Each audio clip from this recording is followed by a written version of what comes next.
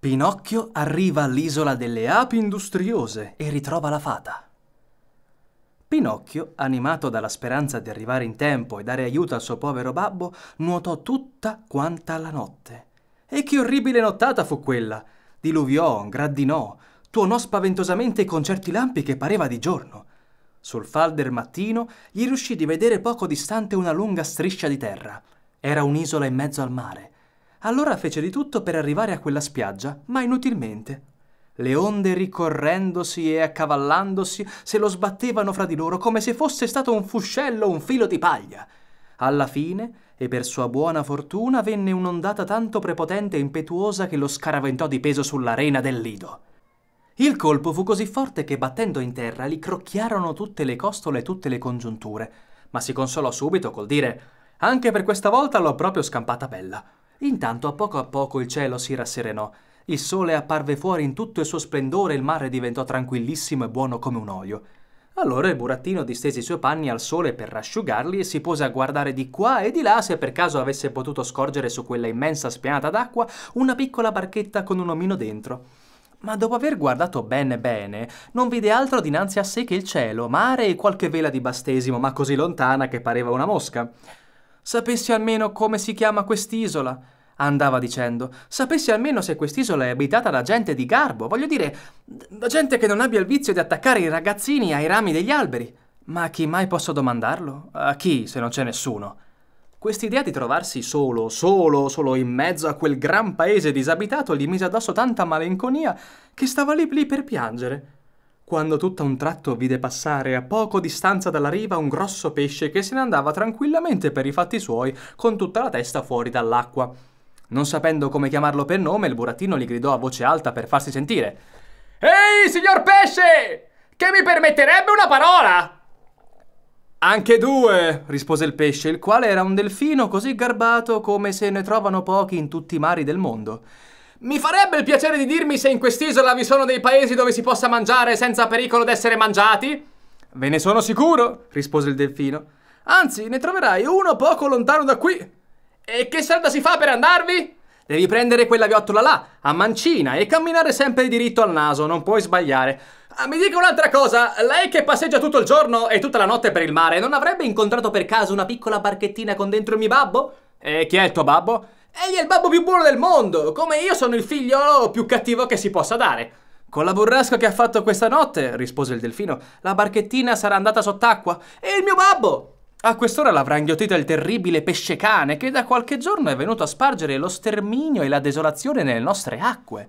Che grosso di molto questo pesce cane! domandò Pinocchio che di già cominciava a tremare dalla paura. Se gli è grosso, replicò il delfino. Perché tu possa fartene un'idea, ti, ti, dirò che è il più grosso di un casamento di cinque piani ed ha una boccaccia così larga e profonda che ci passerebbe comodamente tutto il treno della strada ferrata con la macchina accesa. Mamma mia! gridò spaventato il burattino e rivestitosi in fretta e furia si voltò al delfino e gli disse Arrivederla, signor pesce, scusi tanto l'incomodo e mille grazie della sua garbatezza.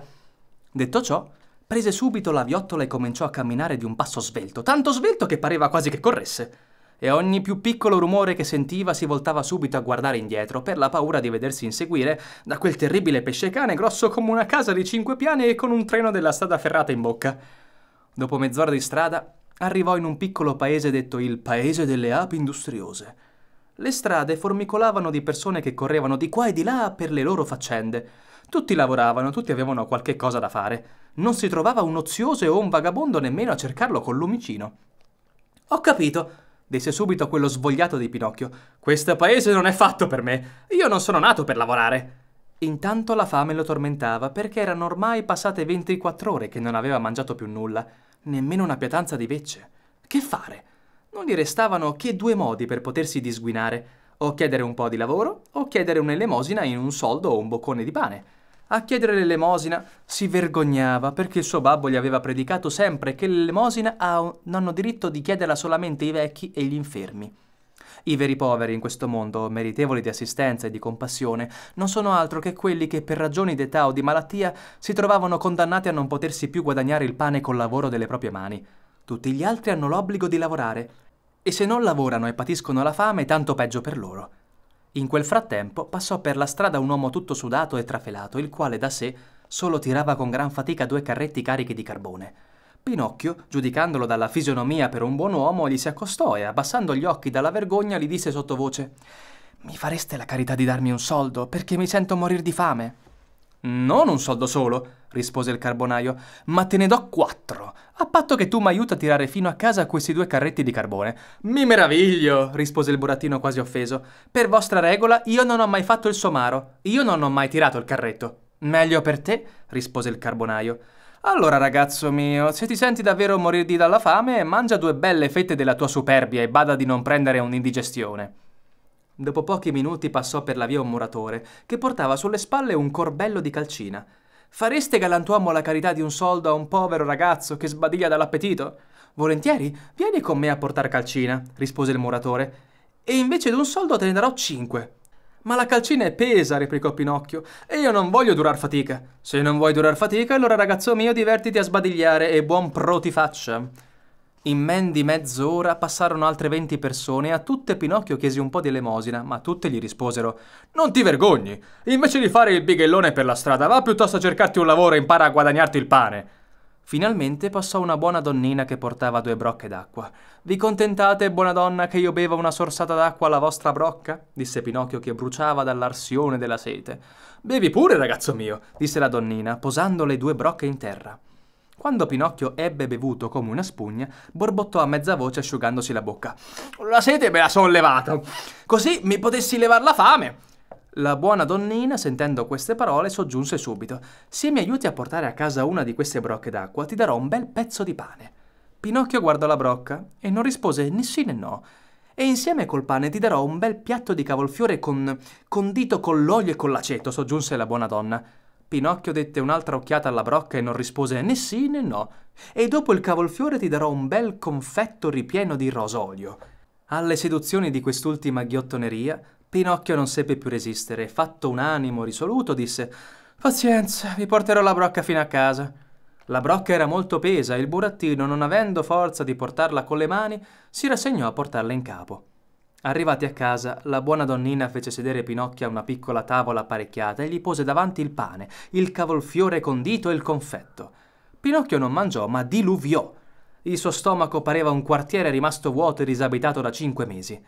Calmati a poco a poco i morsi rabbiosi della fame, allora alzò il capo per ringraziare la sua benefattrice, ma non aveva ancora finito di fissarla in volto che cacciò un lunghissimo Oh! Di meraviglia rimase là incantato con gli occhi spalancati, con la forchetta per aria e con la bocca piena di pane e di cavolfiore. Che cos'è mai tutta questa meraviglia? disse ridendo la buona donna.